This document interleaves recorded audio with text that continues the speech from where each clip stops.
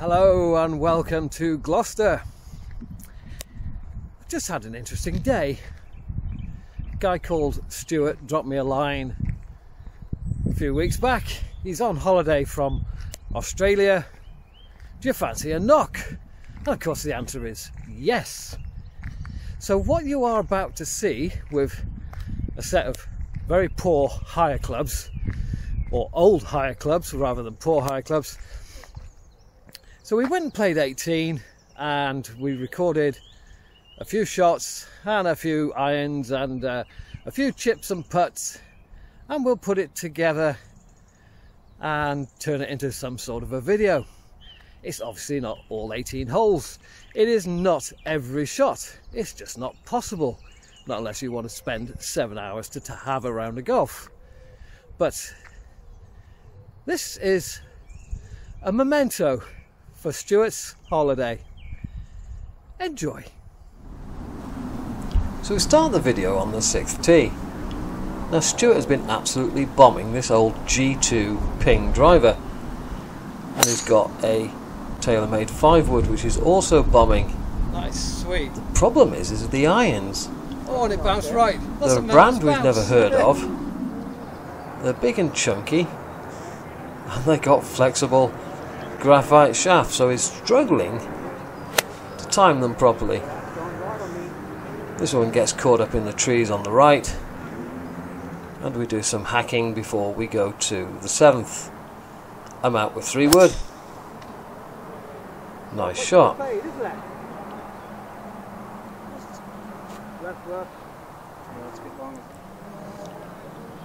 Stuart's got the TaylorMade five wood absolutely nuts it. That is an absolute Perfect fade round the corner. That is superb. You can't ask for more than that. I didn't try to shape it. But with the irons, he's either got a wedge or a 64 and nothing in between. So what you're going to see oh, come on, be kind, is him be fighting kind. to right to the back. keep the wedge under control and hit it shorter than it's going full distance putting down the green. No, you do have to hit it. He'll make it. Now, I'm a bad caddy because I actually gave him that line and I got it all wrong. Cool. But tidied it up for par. On to eight. I absolutely slaughter this drive.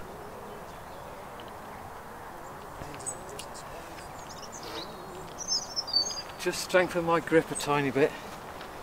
Didn't need to. Stuart went with an iron and he's played up the hole with an iron. Which is how I do it in my videos, isn't it? Just missed the green to the right. Nice little pitch. I got to land this on by about a yard. And I do that. Depends on the bounce and the roll. Nice birdie chance. Oh, Simon. And I do that. that way. Do you want me to get mine out way? On to nine.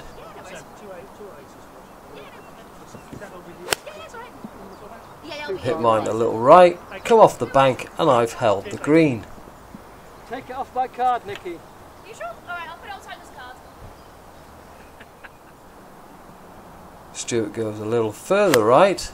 Ah, it's gone right. as well. Again, these, these irons just don't suit him. They don't suit him at all. Right, right. Getting long right. It's coming. That didn't quite make its way down onto the green. And a bit of a poor chip. I don't understand Not that. surprising really, because he wanted a sand wedge and he hasn't got a sand wedge. That was a bit enthusiastic, wasn't it?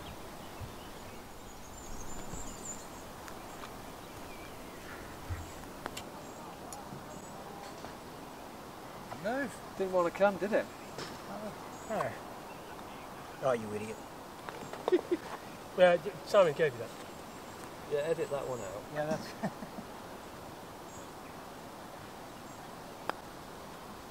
Oh. On to 11, I'm trying a 5 iron, seeing as the previous day my 4 iron went through the back and was lost. I just managed to bounce it up onto the front. Bounced up. Can't remember what Iron Stuart's got. Bit of a thin, Ah, pinned it. catches the edge of the pond, and disappears. Disappeared. Speed. It's a crater. I get my par. Every spring I what I was impressed with is how Stewart managed to putt across this slope.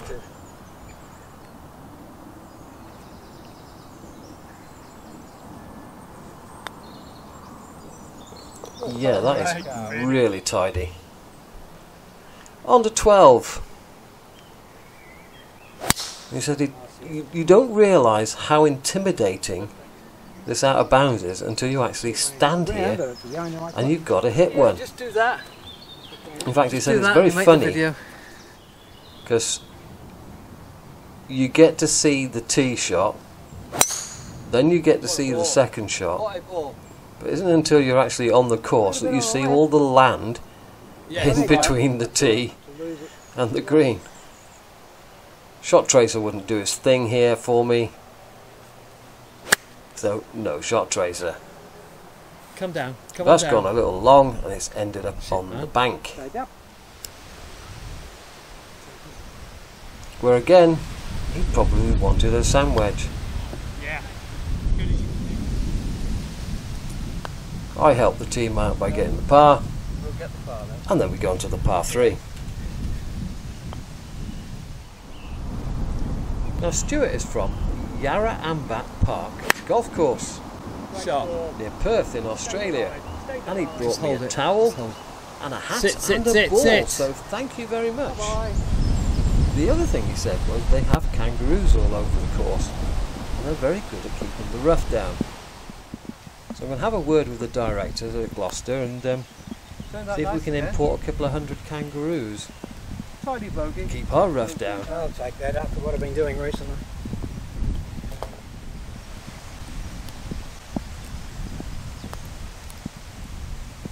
Get in. Oh dear. Suffering. Summer's over. That was it. Now I can't remember how old a Ping G2 driver is. Howard. What a Probably shot. somewhere of the order of 18 to 20 years. And this is absolutely beasted down there, which just goes to show that it's quality of strike over age of club and another struggle with having left. Right again. a pitching wedge instead of the club that you really want. And no surprise is he'd gone long again. Hitting it. Nice. Although I have to say the greens are a little firm, and that's why I went long as well.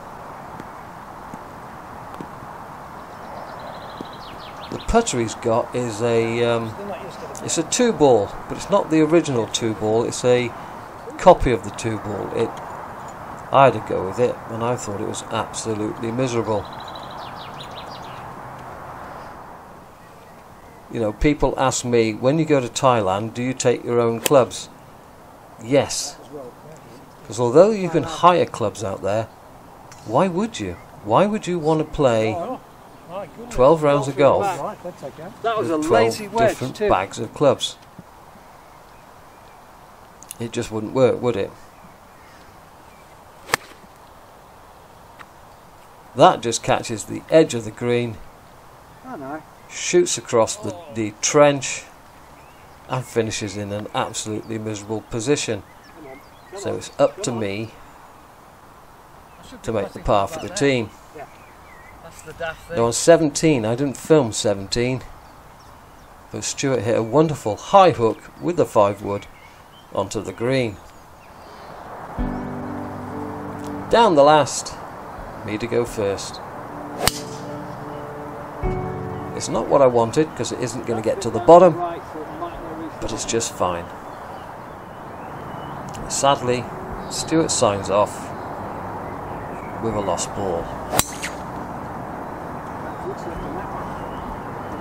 I bet those grips were slippy after all that rain. This lands about a yard on the green and only just stays on the green. This is why I'm personally having trouble with scoring at the moment. Cheerio! This must be a rock. Do you hear the sound?